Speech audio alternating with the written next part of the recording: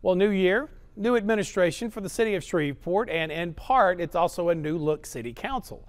So, what's in store for the city moving forward? KSLA News 12's Jade Myers got a preview with one of the councilmen who, what he sees as challenges that lay ahead in the new year.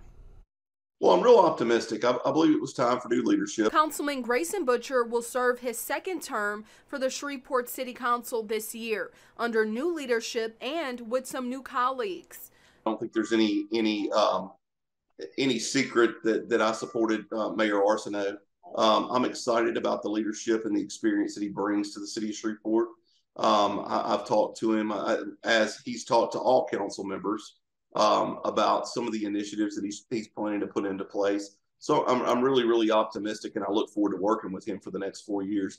As far as the new council members, um, I believe that it'll be a learning curve for us all. Um, I'm optimistic. Boucher said there's several things he'd like for the city to tackle. I'd like to see us do some changes to our property standards laws. Uh, the other thing is I, I really have uh, several questions about the uh, the school uh, school zone cameras.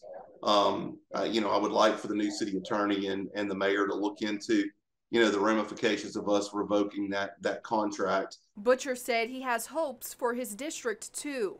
My district is growing very fast, um, and we have a lot of growing pains. And uh, you know, traffic number one off of Ellerbe Road in Norris Ferry. Um, you know, we, we've got a brand new uh, Brookshire's grocery store going out on Norris Ferry Road. There, there's several things that I would like to see come to my district that I believe other parts of the city have and that we don't out here. Boucher said he wants citizens to know that it takes time to see progress. The problems that we've had in the city are not going to change overnight. I think we've made great strides in crime.